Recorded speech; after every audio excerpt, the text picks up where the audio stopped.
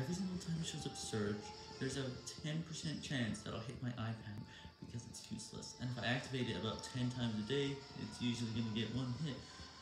And I'm hitting myself 5,000 times because I'm not able to draw shapes and scribe this circle anymore. It's no longer possible. I'll never be able to do it anymore. And I'm just very sad.